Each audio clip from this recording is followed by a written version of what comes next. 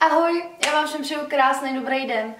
Musím říct, že to je pro mě strašný nezvyk sedět před kamerou, protože tohle už jsem nepraktikovala od července. Pane bože, to je třeba tři čtvrtě roku, co jsem takhle neseděla před kamerou, protože vždycky to byly jenom nějaký vlogy, kde prostě chodíte s tou kamerou a je to pro mě strašný nezvyk si sednout před kamerou. A já vás teda chci ještě jednou přivítat tady z toho videa a tohle video bude Q&A a. Bude to proto, protože na Instagramu mi zase začaly hemžit nějaké otázky, eh, které byly stejného rázu.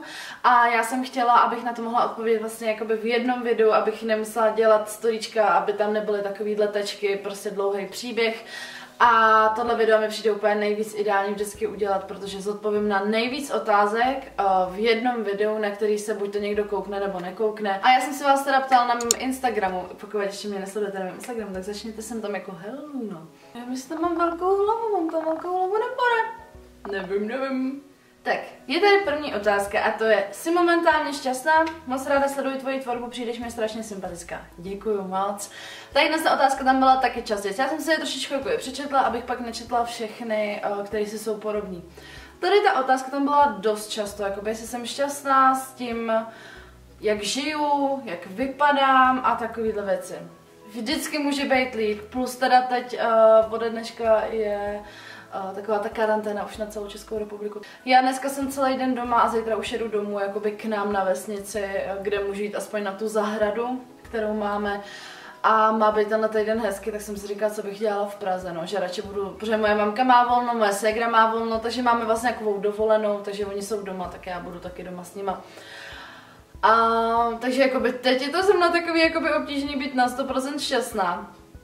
Ale já si upřímně myslím, že si vůbec nemám na co stěžovat, protože opravdu dělám, co mě baví, mám kolem sebe lidi, který miluju. Um, učím se, upřímně se učím poslední dobou mít um, ráda sama sebe i se všema chybama, který prostě vidím.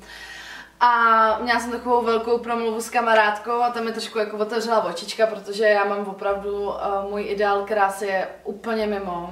A je úplně mimo realitu a já to vím. Já to vím, že prostě takhle vypadá prostě jen člověk v časopise a takhle, ale moje hlava ví, že moje hlava si myslí, že tohle je tvůj ideál krásy, takhle by si měla vypadat. Přitom takhle prostě, když jdete na ulici, tak takhle nevypadá ani jedna z těch sto lidí. Takže jakoby, já vím, že je to nesmysl, vím, že je to nereálný takhle vypadat, ale prostě stejně někde hluboko v hlavě mám zarytý, že tohle je ideál krásy, takhle by se měla vypadat. A ono je strašně těžký uh, být se sebou spokojená, když si myslíte, že máte vypadat uh, jako Kendall Jenner. Tak jakoby je to těžký, nebudeme si nic nalhávat.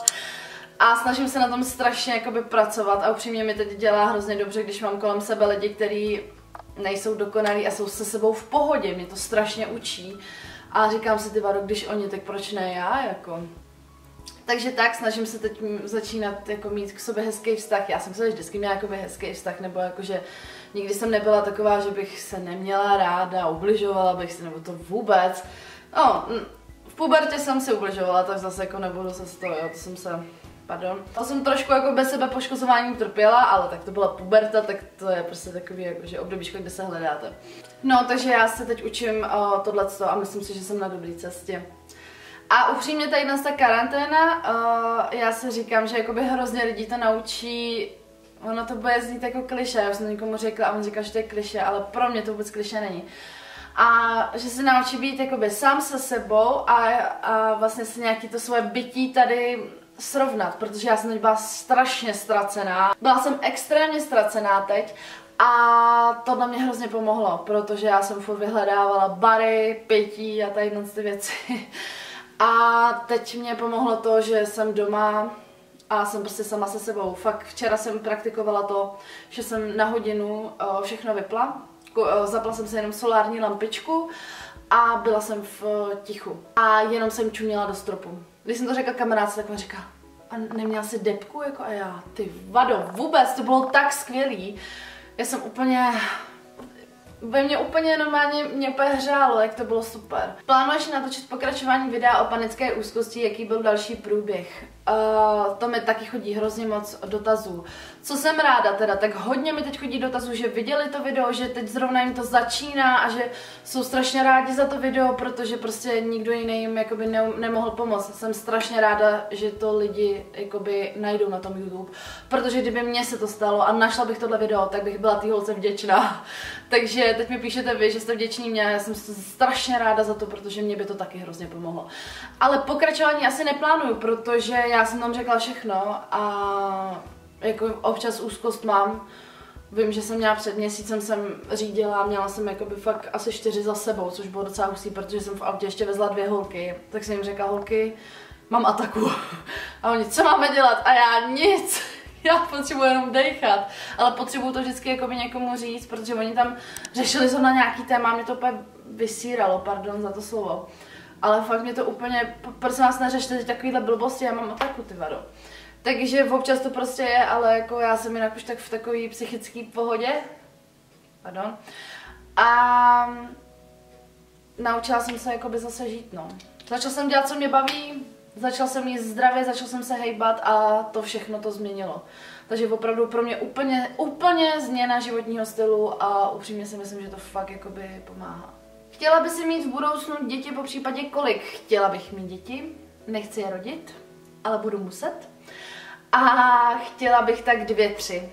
Víc určitě ne a méně taky ne. A to vždycky tady ta otázka. Pokud mám přítele a co ty a kluci? A já nikdy nevím moc jakoby na to, jak na to odpovědět. Přítele nemám, pokud bych ho měla a byla bych si s ním jistá, nevadilo by mi s tím mít na sociální sítě. Vůbec. A jakoby nějací kluci v mém životě jsou, ale jakoby je to taková normálka bych řekla asi, nevím, Upřímně si myslím, že to není nic jakoby za zmínku nebo, nebo takhle prostě taková ta klasika, bych řekla. Prostě holky se výdají s klukama, tak, tak takhle to mám asi já. Nebojíš se bydlet v prvním patře skoro na přízemí? Upřímně nebojím, protože u nás první patro je wow, vysoký patro, jakože já kdybych tady skočila z okna, tak mám 100% něco zlomeného, že to není žádný první patro, kam byste třeba vyskočili, nebo jako to byste museli mít kurně vysoký žebřík, abyste ke mně vylezli. Takže to se vůbec nebojím, protože opravdu u nás první patro je, že to je fakt vysoký. Takže vůbec, vůbec, vůbec. Jak se ti bydlí v novém bytě, jinak tě miluji, jsem moc super. Moc děkuji. A bydlí se mi skvěle.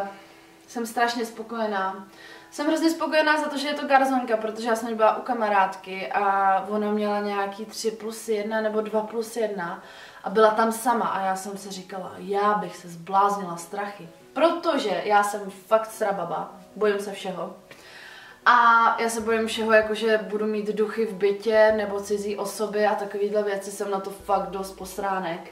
No a v té garzonce, jakoby, tam víte, že nikdo jiný není. Já mám garzonku a pak tam mám jenom toaletu s eh, koupelnou. A já prostě vím, že v téhle místnosti nikdo není a že na záchodě asi taky nikdo není. A to je všechno, jakoby nic jiného mě nemusí zajímat, to je celý můj byt. A to na mě hrozně vyhovuje a jsem tady strašně spokojená. Jako já tady mám úplně všechno, mám tady svůj klid, je to... Hm, miluju to, miluju to, miluju to, miluju to, miluju to.